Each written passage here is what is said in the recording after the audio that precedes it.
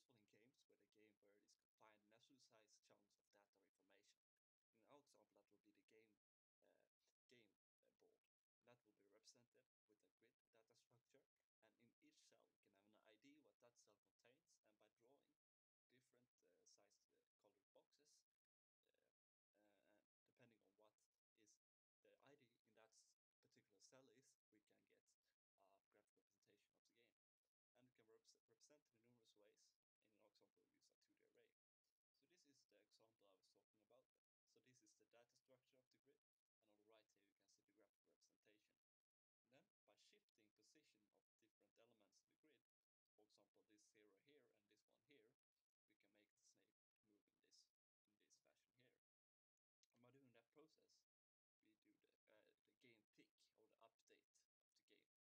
And here by listening to the input, keyboard input from the user and change the direction uh, depending on what the user have pressed, we can get a game, act actual game and not just uh, no, some blue boxes moving across the screen. We are adding to the game. So this is the interface of the grid and it will just have a width and a height uh, field, and that is the amount of columns and the amount of rows of the grid. And then it will have a meet, set, and a get methods, and they will just initiate and uh, set and get they are just pretty self-explanatory. So the snake will be implemented as a queue, with abstract as a queue, and that is described by this keyword here, FIFO, that means first in, first out, contain all the data of the current position in the grid with the snake ID.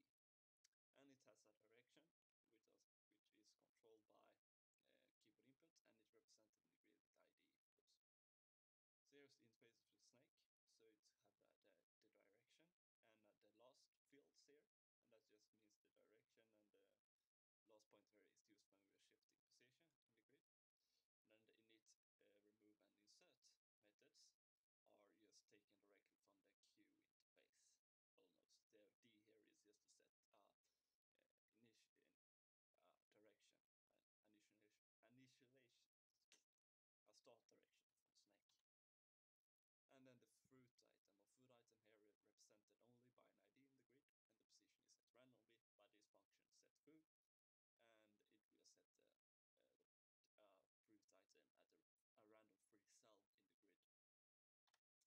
And then for drawing and, and graphic representation, we're using HTML canvas. And we're just going to use the field style width and height field fields and then the context and field rect